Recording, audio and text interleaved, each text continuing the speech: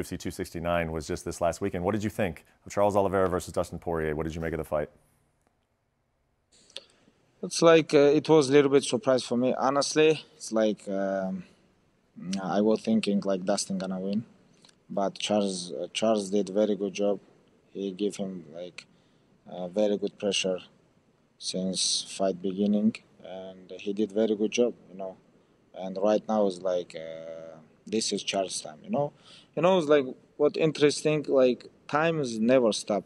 Like we remember when Frankie Edgar was champion, then Benson Henderson was champion, then Anthony Pettis, you know, it's like Dos Anjos, like Conor, myself, now it's Charles, you know, it's like when, like very, very, very soon, it's like Charles' time gonna come too, you know, someone gonna beat him.